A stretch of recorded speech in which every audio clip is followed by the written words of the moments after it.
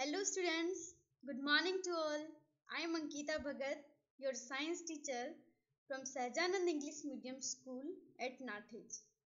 So students, after completion of chapter 2 from class 8 that is microorganisms, friends and foe, now we are going to start the new chapter from class 8 that is cell structure and function.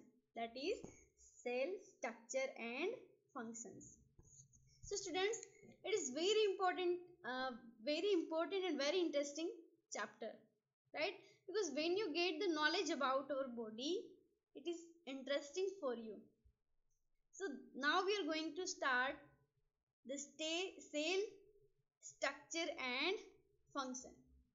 So topics to be covered in this chapter is cell, discovery of cell, cell shape and size, cell number, basic structure of cell, cell organelles and difference between plant cell and animal cell.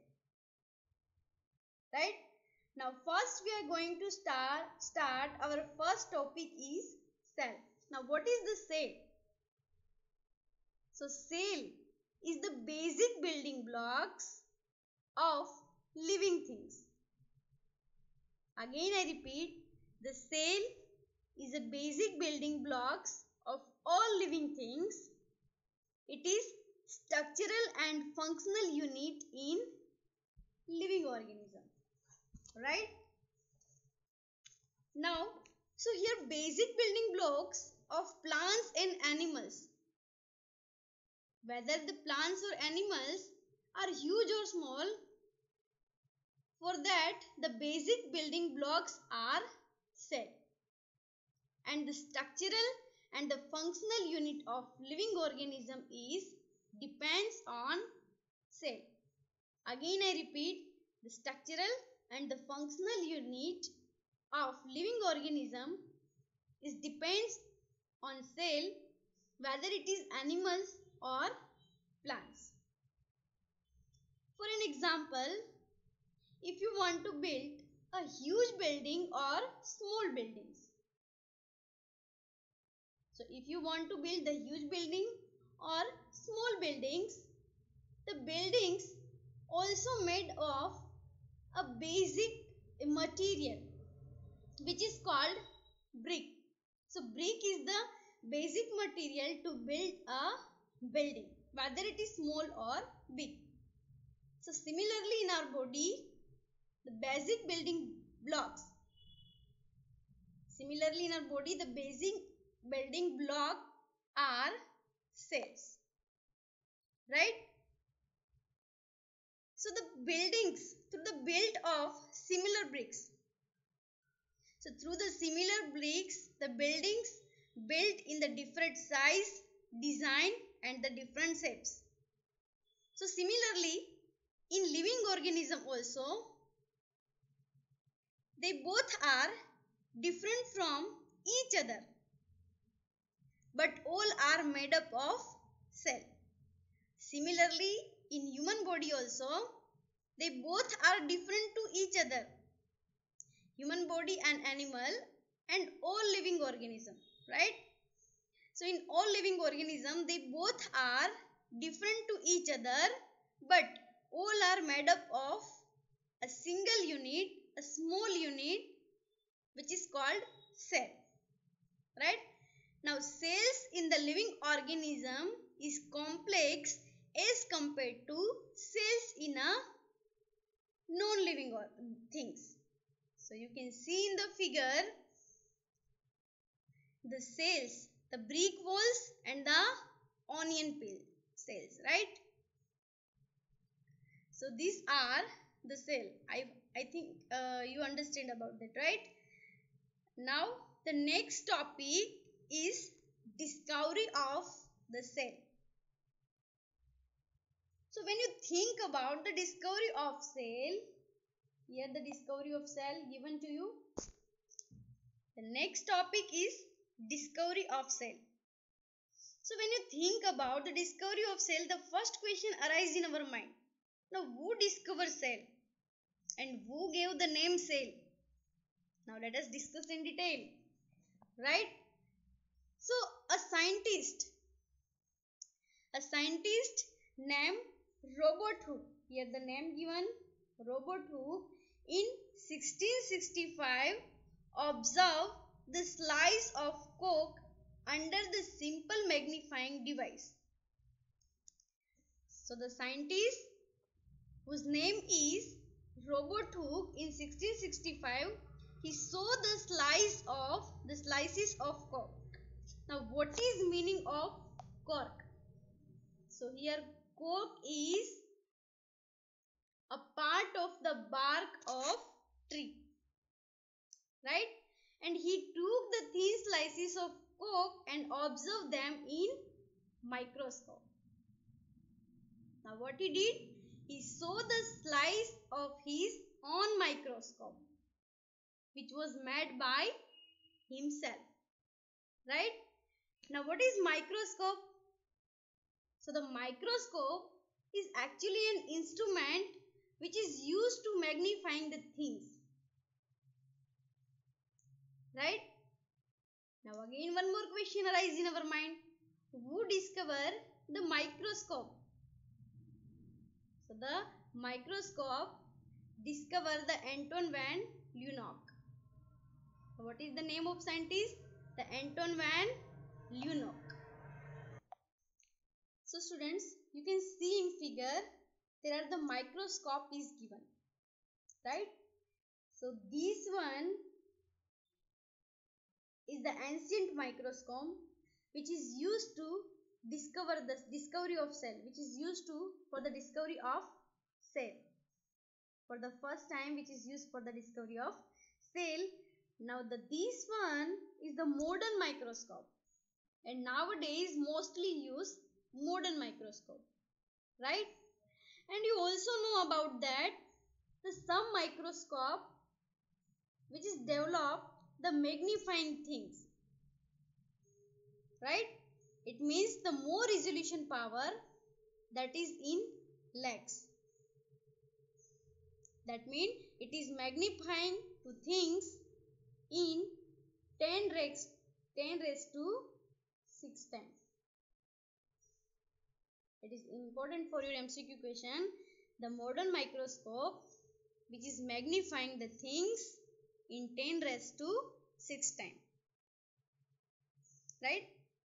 So students, the information about microscope that is not given in your notebook. I share with you just for your knowledge, right? So students, now you know about the who discover microscope? Who discover? The Anton van Leeuwenhoek, right? and what is the use of microscope? Now you know about that right? Now again back to our topic. Uh, when robert hooke observed the slice of cork under his own microscope he observed that there are the certain hexagon shaped cells. So he observed that there are the certain hexagon sap cell, right? So, such like structure. Got it?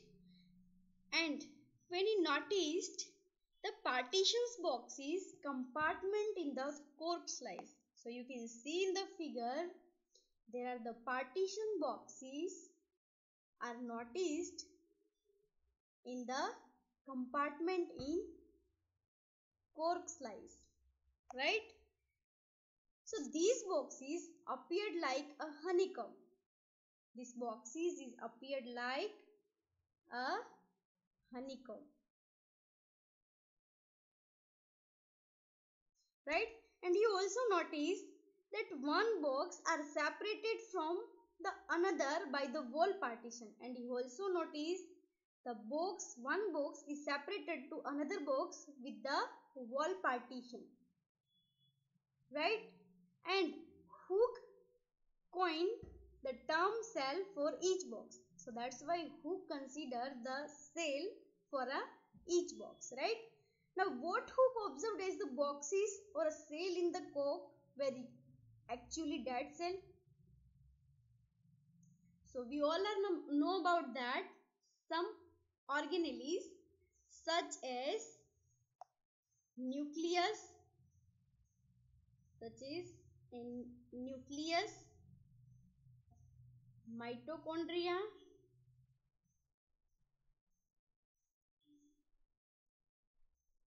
then Golgi bodies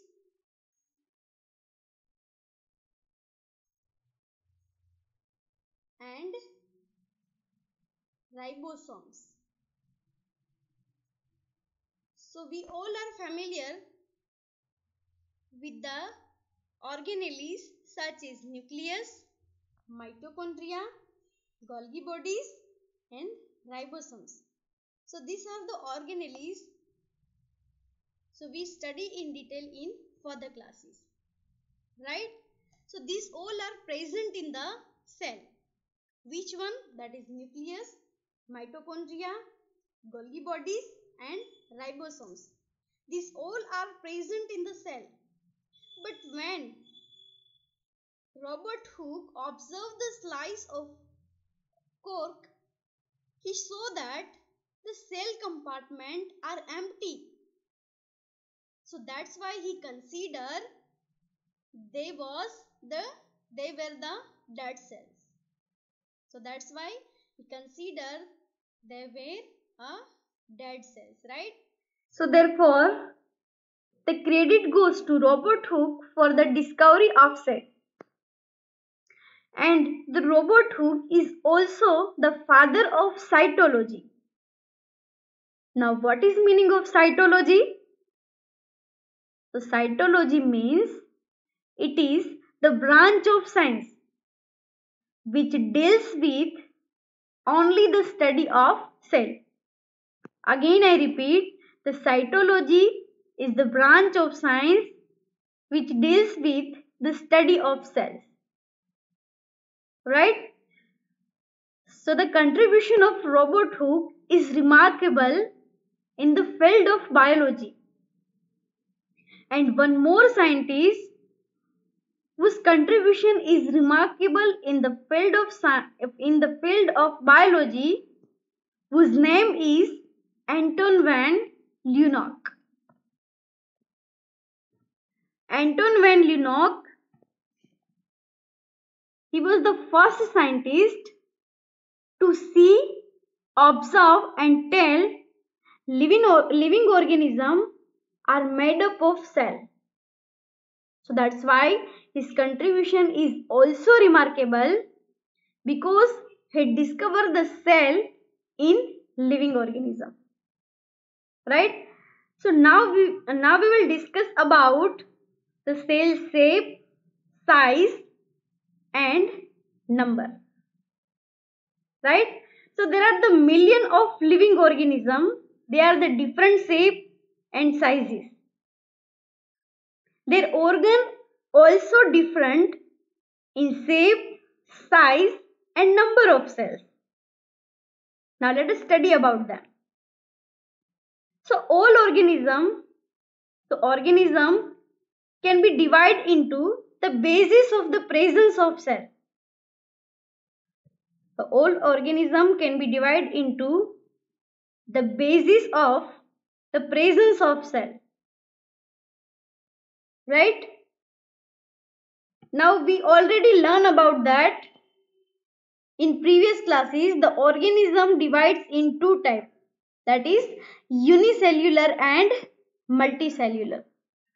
We already uh, learn about in previous classes or the uh, chapter 2 also. The organism are made up of are divides into the two cell which is unicellular and multicellular. Now what is meaning of uni and what is the meaning of multi? So it is very simple. Uni means single and multi means many. So multi it means more than one. So if we are talk about the unicellular organism, if we are talk about the single celled organism, we are very clear with the example such as bacteria, yeast, amoeba, paramecium, etc. So these all are the organism has only one cell. And the unicellular means the body got only one cell. And this one cell or single cell is only responsible for the performing of all functions. So which type of function? That is reproduction, respiration, digestion, locomotion, etc. Again I repeat the function that is reproduction, respiration, digestion, locomotion, etc. Right? So all these functions are necessary for an organism to alive are carried by only one cell. Right? And a single celled organism perform all the necessary functions that multicellular organism are perform. So the a single celled, the unicellular organism perform all activities, all necessary functions that the multicellular organism perform. Now the multicellular organism consider as the human being and animals, right? And the single celled organism like amoeba, for an example amoeba that capture the food, digest the food, respire, excretes, grows and the reproduces. Now similar function in the multicellular organism also. So the multicellular organism are carried out by the group of specialized cells forming the different tissues and the tissues in turn to the form of organ. So about the tissue you will learn in the further classes. Right? So the tissue is turned in the form of organ. Now the next topic is shape of a cell. So how do you define the shape of a cell? The shape of a amoeba. So in figure 8.3 you can see here figure 8.3 right it is the figure of amoeba right you cannot define the perfect shape of amoeba. Got it? So the shape of amoeba in the figure, you may, uh, you may say that the shape appears irregular. In fact, amoeba has a no definite shape. Unlike the other organism, amoeba has a no definite shape. You cannot define the perfect shape of amoeba it keeps on changing its shape. So when, uh, when it locomote, it keeps the changing its shape. And observe the projection of very fine gland protect, uh, protecting out of its body. And this is called the pseudopodia. And the pseudo means, the word pseudo means false and the podia it means pills. So the word pseudopodia it, it means the false feet. It is used to capture the food. The pseudopodia is helps amoeba to capture the food. So you learn in the class 7 these projections are appear and disappear as amoeba locomote. So these projections are appears and disappears as amoeba moves or feed. Right? Now let us discuss in detail for amoeba. Here it is the figure of amoeba. Here the cytoplasm, pseudo, uh, pseudopodia, nucleus, food vacuole, cell membrane and contractile vacuole. Right? So when amoeba senses the food it pushes it in the pseudopodia. Here pseudopodia. And it trap the food in the food vacuole. Here the food vacuole and the digestive juice secretes into the food vacuole and they act on a food and break down the food into the simple substances. And ultimately gradually the food digested and absorbed. And the undigested food is expelled outside by the food vacuole it is the cell membrane is the outer layer of the cell. And the cytoplasm is the jelly like structure in the amoeba it is called cytoplasm. Pseudopodia it means the false feed which helps to capture the food and nucleus and the food vacuole right? Now what is meaning of contractile vacuole? So contractile vacuole it means expel the extra water from the cell. So draw the figure in your book. But students our session is over here. Now in next session we will discuss the remaining chapter. So thank you. Have a nice day